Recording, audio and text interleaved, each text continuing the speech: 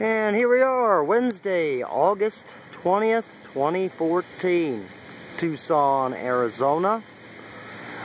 And uh, I don't think I need to say much of anything. There's our skies. This is what we've got. This is what they're giving us. You can see over here, got a few ones, a few natural ones, and then, then what's this? What is it? That is not it. That is uh, obviously not natural, what you're looking at right there. Some of it is. Obviously, some parts of it are not. There we go. Real News Tucson. Reporter, Chris Haskell. Hey, look, some real ones.